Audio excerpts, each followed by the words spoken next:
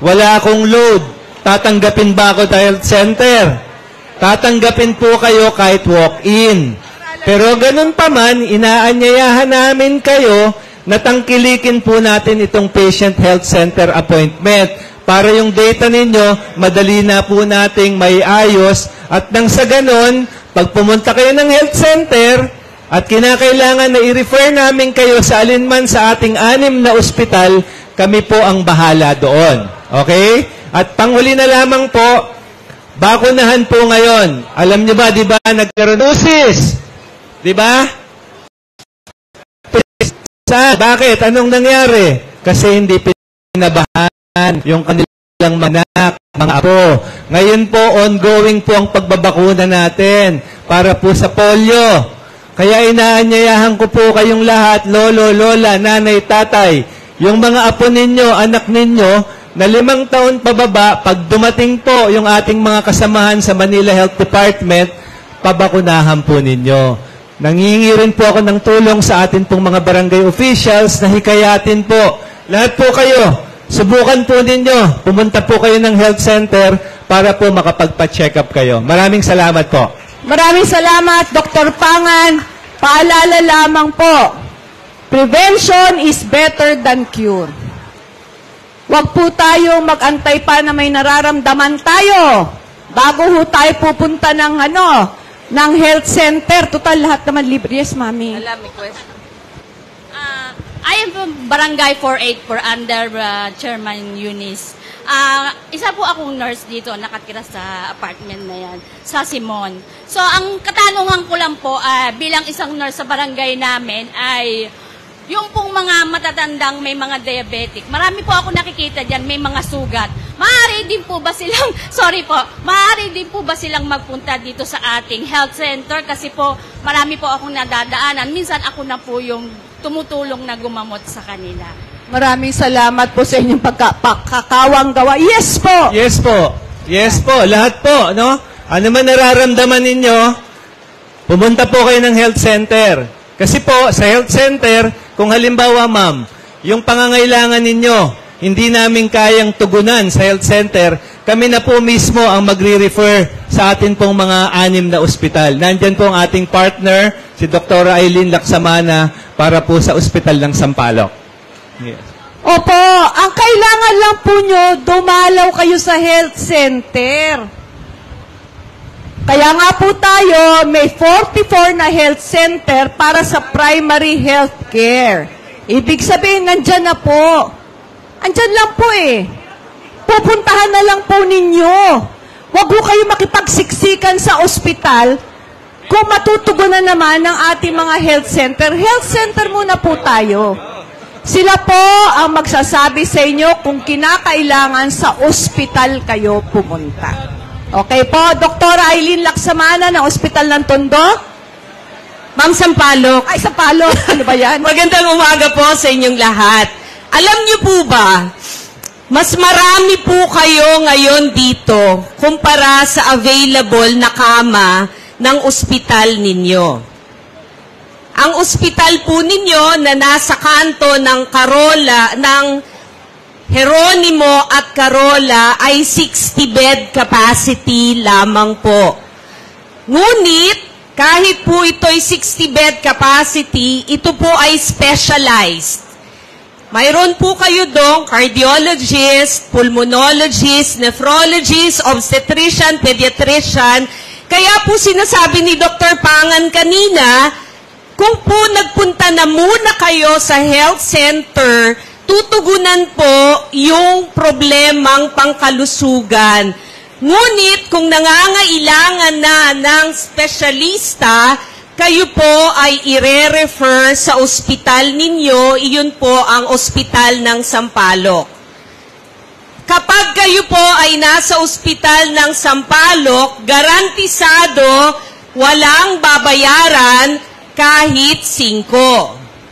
Dahil lahat ng serbisyo ay sinisiguro ng ating pamahalaang lungsod ng Maynila na meron at libre. Hindi lamang sa mga senior, kung hindi mula bata, mula ipinanganak hanggang pangkalawakan. So bago po ako matapos, sabihin ko lang po, dahil paypay kayo ng paypay, ano ang heat exhaustion? Yung heat exhaustion, kapag kayo'y naliliyo at pawis na pawis, maaaring may heat exhaustion na kayo, kaya uminom po kayo ng tubig madami. Hindi kailangang bumili ng mga energy drinks. Tubig na malamig o maghilamos. Pag hindi pa po naagapan ng heat exhaustion, yun po yung sinasabi ng lahat na napapanood nyo na heat stroke. Kung 43 degrees ngayon, kapag tumigil na po kayo sa pagpapawis, at hindi na kayo naliliyo pero sobrang sakit ng ulo ninyo at hindi na kayo pinapawisan, medical emergency na po yon mga nanay at tatay. Kailangan na po kayong pumunta sa ospital. Pero, palala po, ang ospital po ninyo ay walang emergency medical service team na independent. Ibig sabihin, hindi po pupunta yung anak ninyo, pupunta po sa amin. Kailangan po namin ng tulong, pahingi po ng ambulansya, sunduin ko po ang nanay ko. Ang ospital po ninyo, isa lang po ang ambulansya. Apat lang po ang nurse sa ER. At isang espesyalista kada departamento. Kung susunduin po namin ang pasyente ninyo ay walang gaganap sa ER sa mga darating pa. Kaya po, may MDRRMO na tatawagan kayo para sunduin ang mga mahal ninyo sa buhay papunta sa ospital ninyo. At if-flash po kung ano yung, pero if, kung al- gusto po ninyong i-memorize, ang hotline po nila ay 0950-700-3710. 0950-700-3710. Hotline ng MDRRMO for medical emergencies needing transport. Get in touch with them. Kami, hihintayin namin kayo sa ospital para asikasuhin kayo. Maraming maraming salamat po. Dr. Aileen, dyan ka muna. Liwanagin po natin, ha? Kasi po, meron pa tayong isang departamento na tutugon sa pangangailangan nyo in case of emergency. Yan po yung Manila DRRMO. Marami po silang ambulansya. So, kung kinakailangan po ninyo ng ambulansya na magdadala ng pasyente sa inyo patungo ng ating mga ospital, sila po ang tatawagan ninyo. Sila po ang unang re-responde sa inyo. Naintindihan po? Ano ulit ang number? 0950 Okay. 700 3710. Okay? Ayan po, ha? Okay, maraming Thank you, salamat. Dr. Eileen Laksamana. Ang susunod po, ang inyong resident basurera, Director Kyle Nicole Amurao. Kyle? Isa pong maganda at makakalikasang umaga sa inyong lahat. Ako po ang inyong resident basurera, Kyle Amurao mula sa Department of Public Services. Ako po ay nandito para humingi lang po ng tulong sa inyo at makiusap na sana po ilabas po natin sa tamang oras yung ating mga basura at wag po nating tapunan yung mga ah, center island, mga puno, mga poste, tsaka yung mga gilid po ng mga bahay natin. Ah, meron po tayong ordinansa tinatawag na 8572 o mas kilala po bilang tapat kolinis ko. So meron po tayong mga violation para po doon. Ngayon naman po, sino po ang nagsisegregate na ng mga basura nila dito? Yung naghihiwalay po ng nabubulok sa hindi nabubulok. Meron na po ba? Ayan. Yung mga nabubulok po nating basura, meron na po kaming produktong nagagawa dyan. Sino po yung mga mahilig magtanim naman ng, ng halaman dito? Meron po akong sample na soil conditioner. Ito pong soil conditioner natin ay nanggagaling po sa mga nabubulok nating basura. Sin Nanay, ikaw po ba ay nagtatanim? Ay, ito po sample. Para po dun sa mga gusto pong kumuha pa ng sample, meron pong 50 samples po dun sa booth namin. Ngayon po, para naman po dun sa mga hindi natin nabubulok na basura, katulad po ng, nay, pwede po pahiram. Nito po mga plastic bottles natin.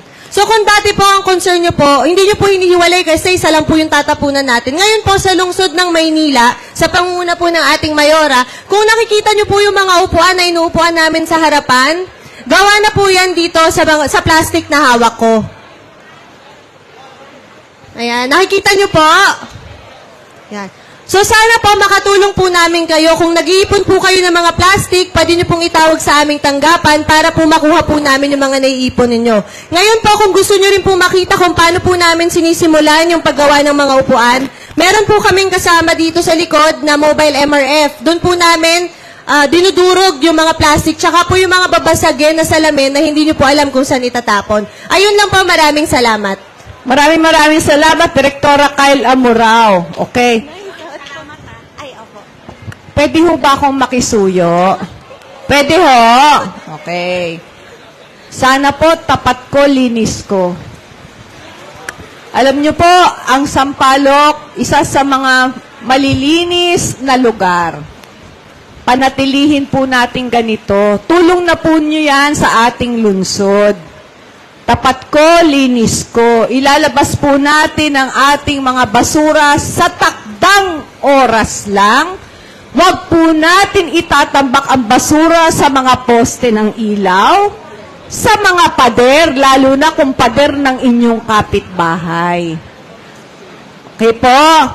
At makisuyo po ako kanina, dinaanan ko lang po ito, oh, yung ginagawa po natin na skyway. Huwag naman po natin tambakan ng basura yung mga tambak na bato na ginagamit po para sa skyway. Huwag po natin itambak doon ang basura.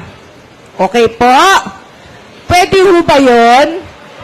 Maraming salamat po. Next, kung may katanungan kayo sa mga violation ng traffic at parking, ka Dennis Biyahe. Good morning po sa ating lahat. Ah, taas lang po ang kamay na sumasakay sa tricycle. Mga tatlong gulong. Tricycle, e-trike. Yan, marami-rami dito sa Sampaloc. Alam niyo po ba kung magkano pamasahe? Yung tamang pamasahe, ah. Magkano po? 30, 50. Depende sa driver, di po ba? Alam niyo po ba naglabas ng ordinansa ang City of Manila sa atas po ni Mayora Hani Lacuna na i-regulate yan. Ang tamang pamasahe lang po ay 16 pesos. 1, 6, 16. Di ba? Ang layo sa 30, doble. Oh, 16 pesos lang po. 16! 1-6! Pag senior, estudyante, 13 pesos lang. Yan po yan. Eh, paano po yun? Talagang ang sinisingil sa amin ay 16, ay higit sa 16, 30, 50. Huwag po kayong papayag. Kasi meron pong batas. Isumbong po ninyo sa amin. Bukas po ang aming tanggapan para swetohin yung mga tricycle driver na nagsasamantala sa inyo. Kasi po kung hindi kayo magre-reklamo sa amin, hindi po matitigil yan. Di po ba? Paulit-ulit na lang po na pagsasamantalahan kayo. Kaya hinihingi po namin yung tulong ninyo. Marami na po kaming nadisiplina sa ganyan. Ang multa po dyan, isang libo. Pag sinumbong nyo sa amin, inuli namin yung TODA, 1,000 po ang penalty nila. Pag tatlong beses na po nilang ginagawa yan, tinatanggalan na po sila ng karapatang maghanap buhay ng tricycle. Basta yung first 1 kilometer niyan, 16 pesos lang. Ano po? Yung sosobra po, umabot na 5 kilometro, plus 5 pesos lang po yun. Ganun lang po. Pag special, kung ilan po ang laman ng tricycle, yun lang po ang babayaran nyo. Halimbawa, apatan po yun, apat na 16 pesos. Ganun lang po yun. Kasi ayaw po ninyo ng may katabi. Gusto ninyo special. Hindi naman marapat na 16 pa rin ang bayad nyo. Kawawa naman po yung tricycle driver. Malulugi siya. Pareho lang naman po natin pinoproteksyonan yan eh. Yung naghahanap buhay at yung pasahero. Dapat parehas po. Ano po? Huwag po kayong matatakot na magreklamo sa aming tanggapan. Para po na isasaayos natin yung mga nangyayari sa ating lansangan. Isa lang po, isa pa po yung mga e-trike, tricycle na dumadaan sa pinagbabawal. Ngayon po, pinagbawal ng Pangulong hulihin kayo. Pero hindi nangangahulog ang pinapayagan na kayong dumaan sa bawal. Binibigyan lang po tayo ng isang buwan. Ngayon po kasi puro sasawayin lang, pagsasabihan, pero after po ng isang buwan, nandyan na po, titikita na kayo. Sumunod na lang po tayo sa batas para wala po tayong nagiging problema at para maingatan din po kayo. Isipin ninyo, tricycle ka, e-trike, sasabay ka sa highway. Eh kung masagasaan ka, kawawa naman. Ano po, mag-iingat po tayo lagi, sundin po natin yung batas trapiko para na rin po sa pamilya natin. Maraming salamat po, magandang umaga po sa inyo lahat. Maraming salamat ka, Dennis Biyahe. Paalala lamang po mamaya, meron po kaming patatayuin dito na mangongolekta ng inyong mga ah, empty bottled water. Ah, pakibigay lang po kasi minsan natatapakan na po eh. Baka may madulas na senior citizen, madisgrasya pa ha. Tanganan po ninyo. Maraming salamat. Ang susunod po ay sa engineering department. Kung makakatulong po sila sa inyo sa mga sinisecure nyong permit o kung may katanungan po kayo patungkol sa ilaw, sa kuryente, sa tubig, sila po makakasagot, Engineer Andres at Engineer Randy Sadak. Thank you po, Mayor. Ah, magandang umaga po, mga taga-Sampaloc. Ang ah, amin pong ah, departamento, binaba dito yung serbisyo. Kung mapansin nyo, since Monday, naglilinis kami ng kalsada, kiniklear natin yung mga sidewalk, naglilinis ng mga drainage, kung may mga lubak, ina-asfalto, at yung mga mga wires na sala-salabat, inaayos po. Hanggang, hanggang ngayon po, ongoing po yung uh, pag-aayos ng mga wires ng ah, Meralco, utility companies. Kasama namin ang ah, crew ng Meralco, Globe, ah, lahat po ng utility companies nandito, naglilinis sila ng mga kable. Ah, yan, hinihingi ko lang po ang ah, tulong ninyo na sana po ah, samahan nyo kami, ah, tulungan nyo kami mapanatiling maaliwalas po ang ating kalye, mga sidewalk.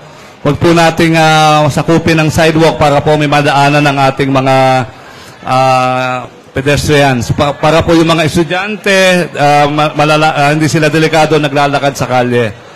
Ang may ano rin po kayo, kung may katanungan po kayo sa Maynilad, sa Meralco, meron po kaming help desk sa likod.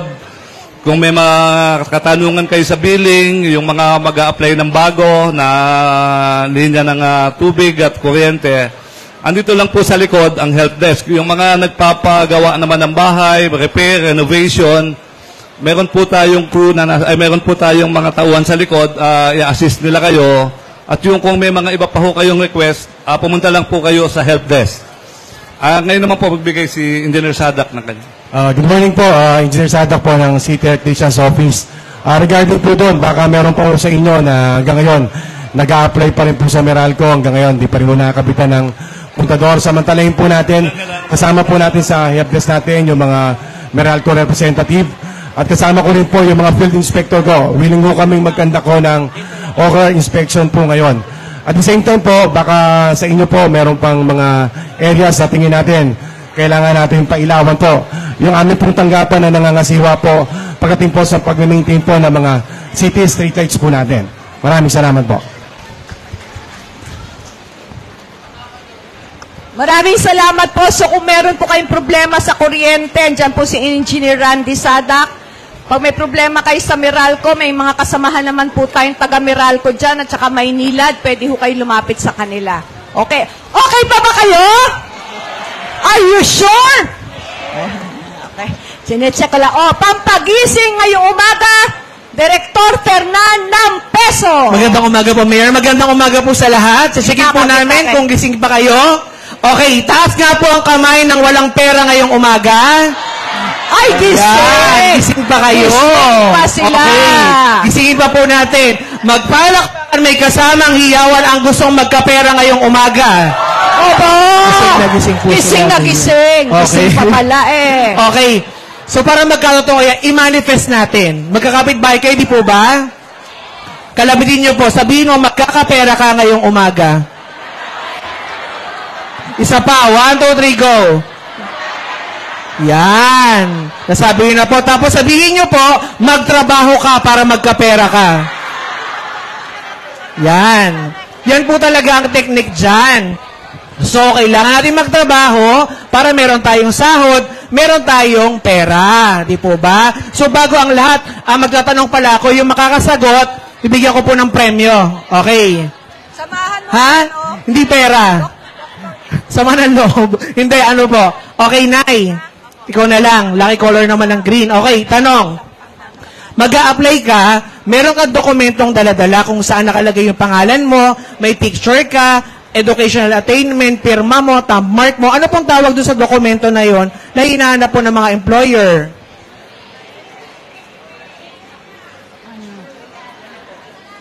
Di alam? Hindi? Okay. Sige. May makakasagot niyan. Olika, anong... Biodata po. Biodata. Congratulations po. Palakpakan naman po natin si ma'am. Okay. Okay, Nay. namang pera yan. okay. Ikaw po, ma'am. Tanong. Okay. Halimbawa, mag-apply ka bukas. O bukas, ha? Anong paghahanda yung gagawin mo ngayon para sa pag apply mo bukas? Paghahanda. Anong gagawin mo ngayong gabi, ngayong ngayong ano, I mean, ngayong araw na to para ah, in preparation sa iyong ano, ah, pag-apply bukas? Maghahanda ng sarili. Mag, mag ano, ma, matulog ng maaga, tapos mag Tama po. So, sa kanya naman po, preparasyon sa sarili, matutulog siya ng maaga para magigising siya ng maaga. So, tama Oo, naman po tama yun. naman yun. Congratulations po. Ayan. Yan. Okay, speaking of biodata, ah, kayo po ay inimbitahan po namin dito po sa Kalinga sa Maynila Peso Job Fair po kung saan po meron po tayong 15 employers po dyan para po sa mga undergraduate po, high school graduate, Undergraduate. high school graduate, High school graduate. college graduate po, College graduate. saka yung tech voc. Techbook. Para po sigurado po kami na may ma-hired on the spot ngayong araw na ito. Speaking of biodata, kung wala kayong biodata ang daladala, may dala ba kayo? May daladala kami. Okay? Kung wala kayong dalang ballpen, may dala kayo? May daladala kami. Kung wala kayong picture at pampapicture, may daladala kayo? May daladala po kami. So, kung hindi nyo po kayang sumulat, kaya ba sumulat? Kaya naman. Pero kung hindi nyo kaya, kami na ang susulat ng biodata nyo, mag-apply po kayo. Pwede ba yon? Okay, sa mga lolo at lola natin, taas ang kamay ng mga lolo at lola. Ayan, dami pa. Yung mga willing and able po na mga lolo at lola natin, ah, tuloy-tuloy po yung programa po. So kung nakikita nyo po yung mga senior at PWD na nagkatrabaho sa Jollibee, sa McDonald's, sa amin po nag apply yon. So kung gusto nyo pong maging table manager, apply na po kayo. Ano ba yan, table manager? Tagalinis ng table. Okay? So, ganun lang po yon. So, magaan lang, yun? magaan lang po na trabaho. Tapos, um, ah, greeter. So, pagpasok ng mga client po, magandang umaga po. Ito po yung menu. Ayan po. Pwede, magaan lang po yan. No? San ba kayo bawal? Yung mga lolo't lang natin, bawal po kayo sa kitchen. Bawal kayo maglinis ng CR. Okay? Bawal na bawal din po kayo sa kahera. Baka magkamali-mali po tayo sa pera. Okay? So, yun po yun. At Mayor, kunin ko na rin po yung pagkakataon. Sa Mayo 1 po, Labor Day. So, punta po tayo sa San Andres Sports Complex. Kung hindi po kayo makakapunta dito, sa Mayo 1 po, ah, Labor Day Job Fair po, meron din po kadiwa ng Pangulo doon. Test the um, demonstration po ng skills nila na ino-offer. Tapos po may libreng ano, may libreng massage at haircut galing po sa Manila Manpower Development po ng MDSW at marami pa pong iba. So punta po tayo, no. Pwede po ba 'yon? Apply po tayo ngayon.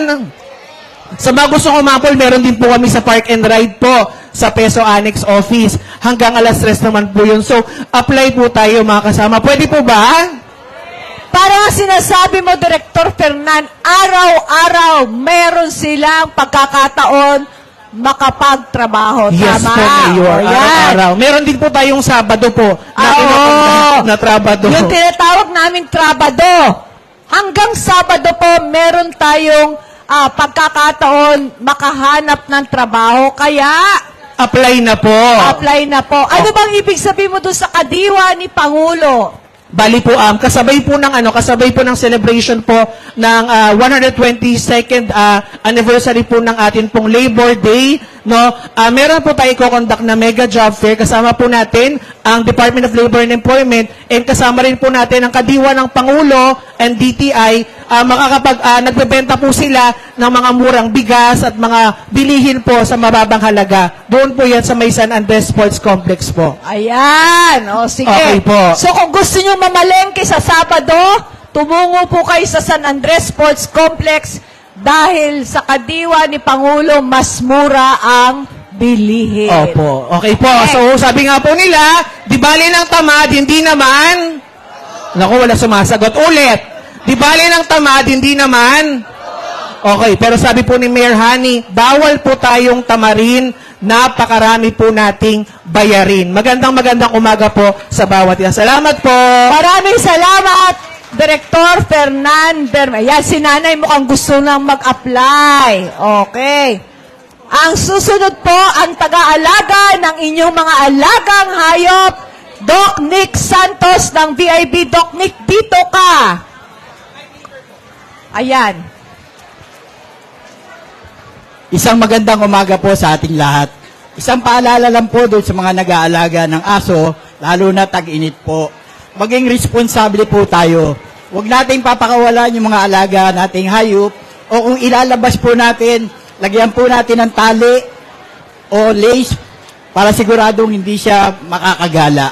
Gayon po, tag-init, may mga isolated case po tayo ng rabies, dapat po maging responsable tayo. Isa pa po, dapat bigyan natin ng tamang kulungan yung ating alagang hayop nang sa ganun makapag-ehersisyo sila at makaga- makagalaw po sila ng tama. Mamaya, mamaya, mamaya. Sige po, Doc Nick. Ang pangatlo po ay dapat lagi nating dadalhin sa veterinaryo, pa-check up, ah, para maging ligtas po tayo sa sakit ng hayop na nalilipat sa tao. Kamukha po ng rabies. Ngayon po, doon naman sa irresponsable at pasaway na nag-aalaga ng hayop, ito po yung mga sagutin natin. Una po, pag pinakawalan niyo yung aso, nahuli ng city pound, magbumulta po tayo ng 500 piso. At pakiusap, 500 pesos kapag nahuli ng City Pound. pakiusap lang po, kung pwede, huwag niyo nga aawayin yung aming dog catcher sapagkat ginagawa lang po nila ang tungkulin nila. Pangalawa pa po sagutin, pag ayaw po nating pabakunahan ng alaga nating hayop, magbumulta po tayo ng 2,000 piso. Dalawang libong piso kapag ayaw niyong pabakunahan ng inyong mga alaga. Pag yung aso naman po natin nakakagat at walang bakuna, magbumulta po tayo ng 10,000 pesos. 10,000 pesos pag nakakagat na walang bakuna. At ang pang-apat po, ah, pag nakakagat yung alaga nating hayop, at ayaw nating sagutin ang mga gastusing ah, medikal, pati yung gagastusin ng veterinaryo sa paggamot, ah, pati yung kinikita ng tao, magbumulta po tayo ng 25,000 pesos. 25,000 pesos. So ano ang sagot? Pabakunahan ang inyong mga alagang hayop. Okay. At ah, pinagbibigay, alam ko rin po sa inyo, na yung supply natin ng bakuna ay abot po hanggang November. Pagmamahal po ng ating mayor sa atin, ah, meron pa po tayong bakuna, may supplemental budget na po kami na pambili kagad ng bakuna. Okay? At ang inila- ibig lang sabihin ni Doc Nick, sapat po ang ating supply ng bakuna para sa ating mga alaga, kaya wag ho kayong magdalawang isip, kailangan po nyong pabakunahan ang inyong mga alaga. Tuwing kailan kailangan magpabakuna? Taon-taon po, Mayor. taon-taon. Hindi ho one time, big time. Taon-taon po ang pagpapabakuna ng inyong mga alaga.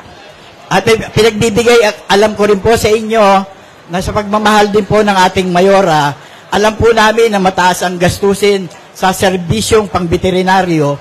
Nagtayo po kami ng animal clinic sa Dapitan na magbibigay ng libreng gamutan sa ating mga alagang hayop.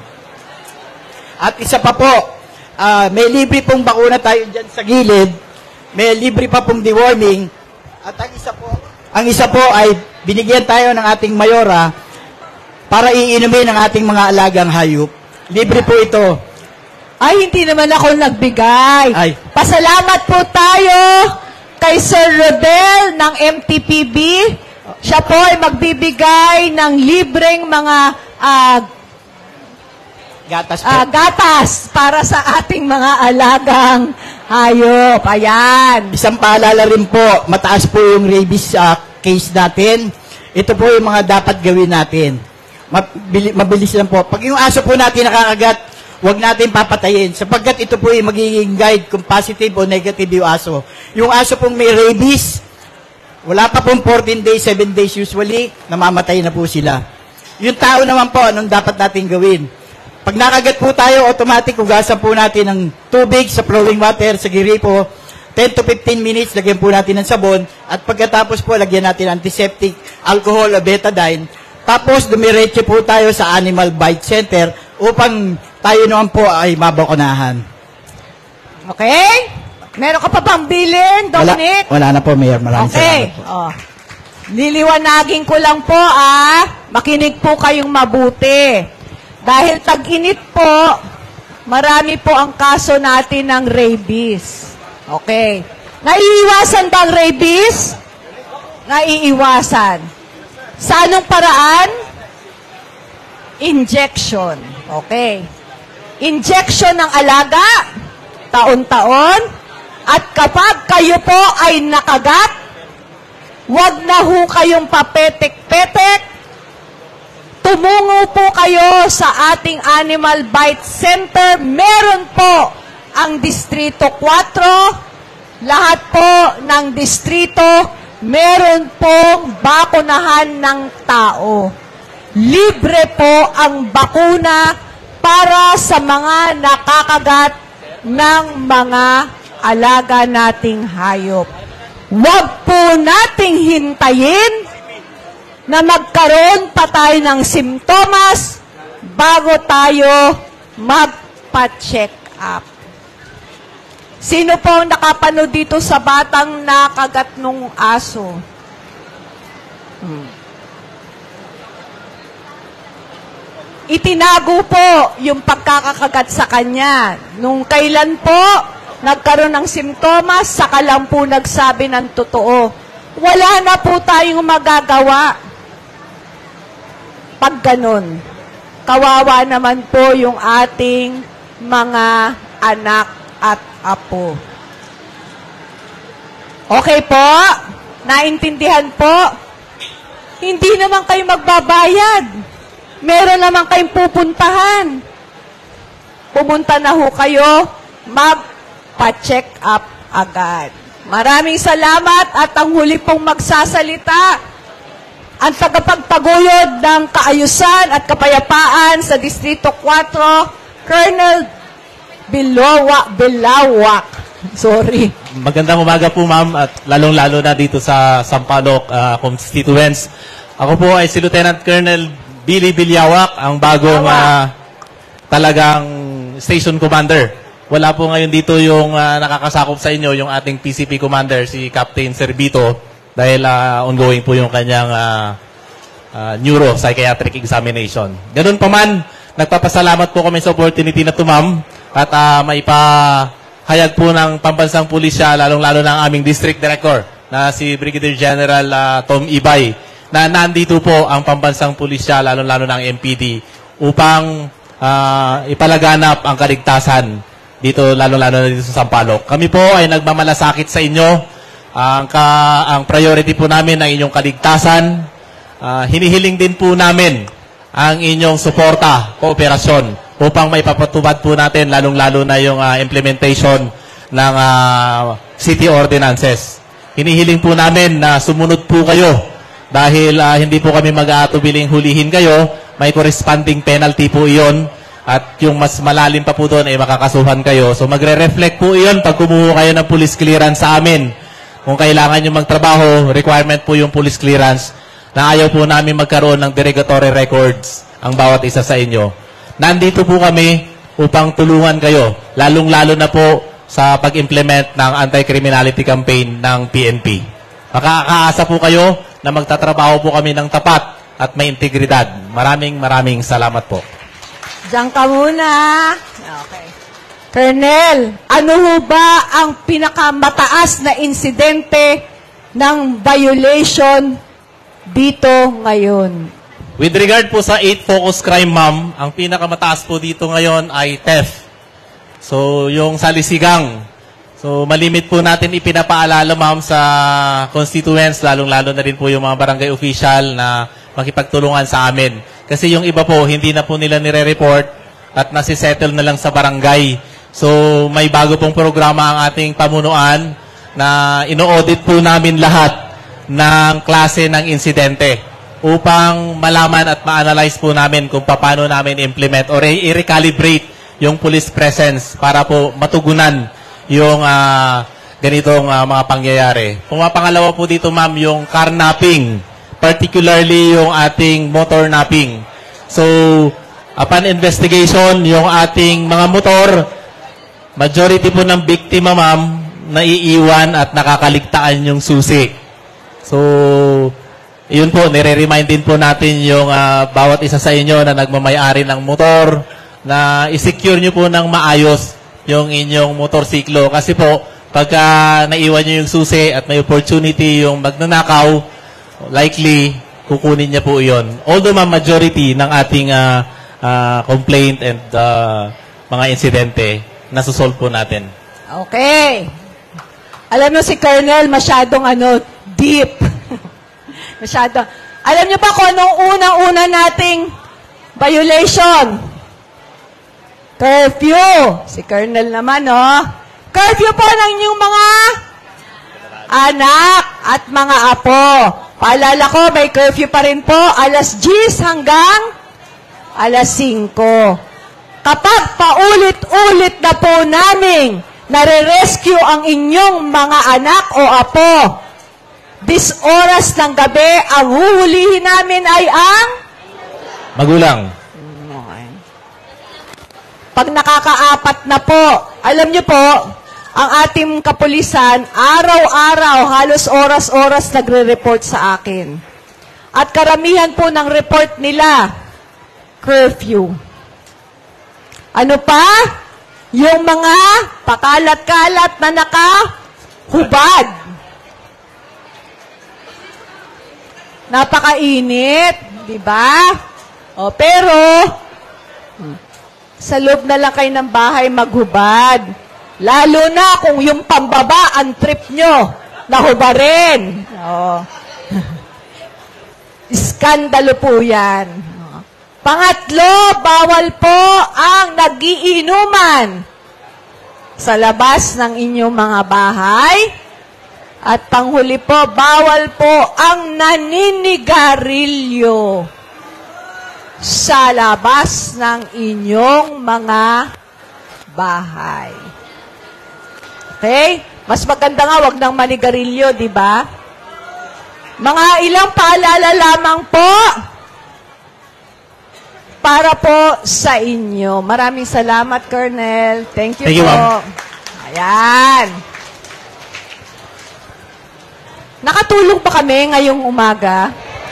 Totoo ba? Totoo? Anong oras ang curfew, Mami? 8 o'clock. Ay, hindi ka laking. 10 o'clock. Mami, 10 to 5. Pero mas maganda yon. Alas 8 pala, papasukin mo ang iyong apo sa loob ng bahay. Di ba? Magkano pamasahe? 16 po. 16 pesos. Ano libre sa health center? Bakuna ho. Maliban sa bakuna? ECG? ECG. Laboratory? Oh. Ultrasound. Ayan. Okay. Talaga ba nakikinig kayo? Yes po, mami. Oo. Talaga ba nakikinig kayo? Ah, Okay. Sino nga ako? Ang nanay ninyo. Kaya ang bili ni nanay,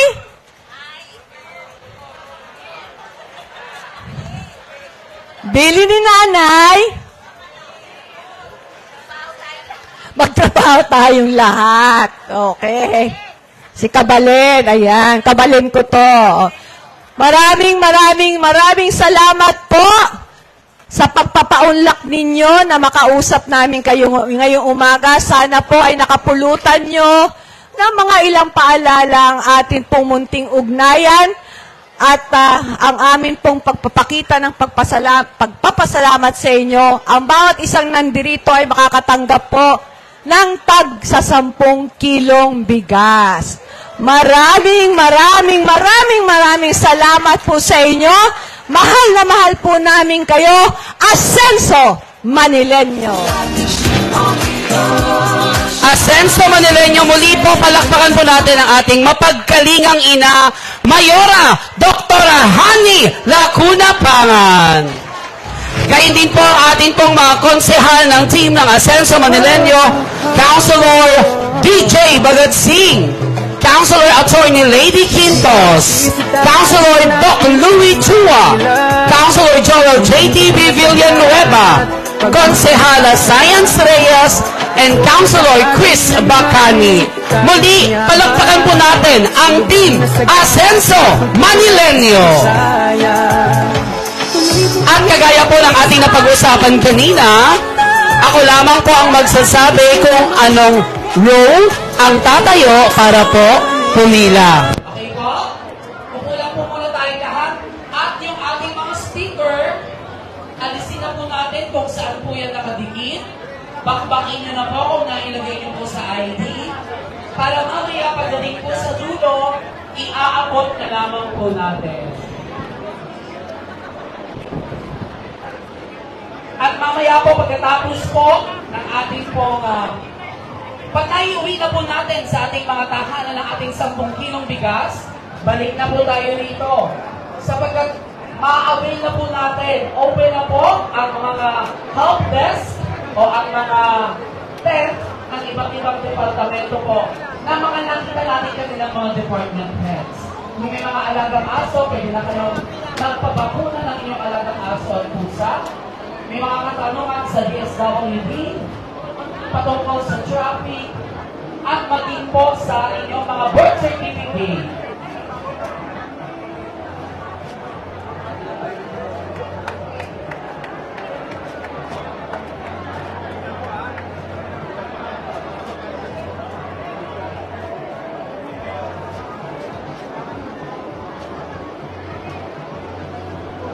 At nakikisuyo po kami, wala pong mag-u-turn.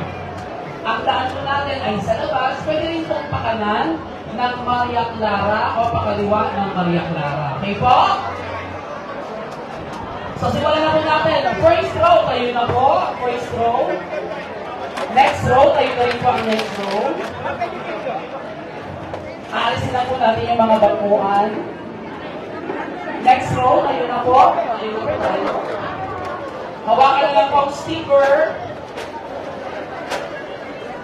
Next row. Next row. Tayo na po tayo. Next row. Sige, mo po ah. Sige po.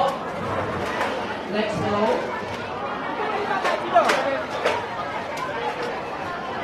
Sige po. Tayo po tayo. Next row.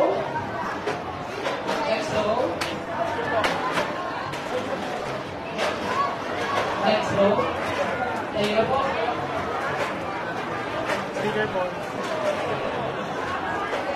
Row. Next row. Upo lang po muna yung nasa likod. Upo lang po tayo. Next row. Sige po, next row. Tayo na po kayo. Next row, please. Next row. Yung mga nasa likod po, upo muna ho tayo. Next row, tayo na po. Tayo na po. Tayo na po. Tayo na po kayo. Tayo na po. Sila pa lang po. Next row. Next row. Tayo na po. Sige po, tayo na. Next row.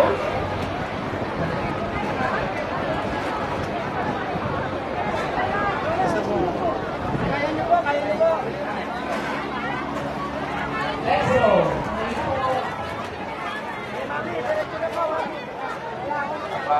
Next row. Muna po kayo. Tayo na po.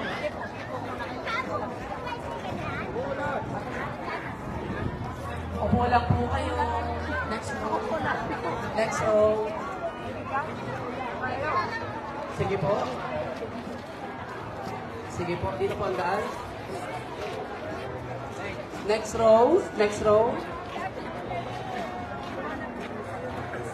Sige po. Next row, dito po ang daan. Next row. Next row po.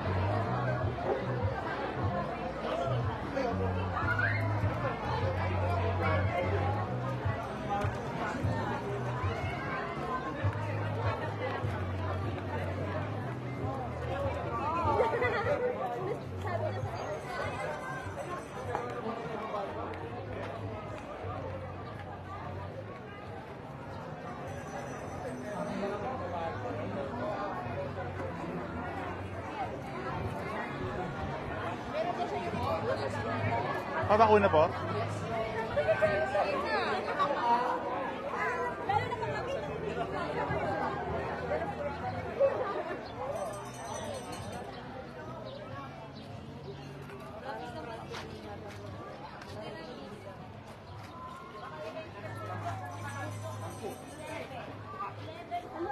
Ma'am, dito po tayo. Ma'am, dito po. Alisan niyo po dito. Magkasama kayo, ma'am? Magkasama kayo nito? Kasi marami po pupunta dito, marami nagpapakasi sa sabi. Um, magkasama kayo, mami? Thank you, Doc. Ma'am, dito ka, ma'am. Pangalan niyo po? Palistok eh lang. Double L. Kalaya. Kalaya. Kalaya, kalaya. Address natin.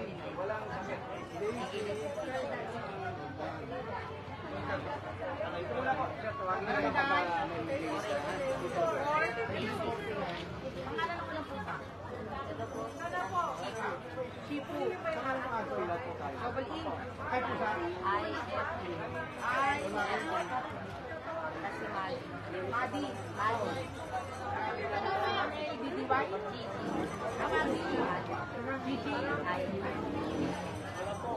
Ma'am, dito po kayo, ma'am. Bila muna po para tatawagin ko kayo.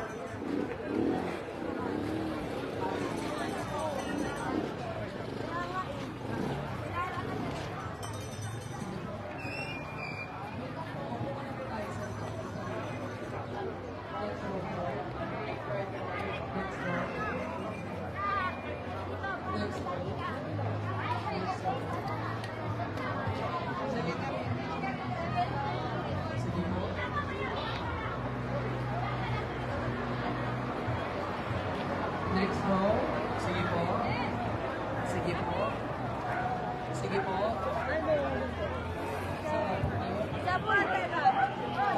po. Ito na po. Diretso lang po.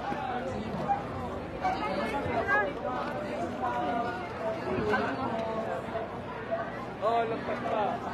Kapag nasa...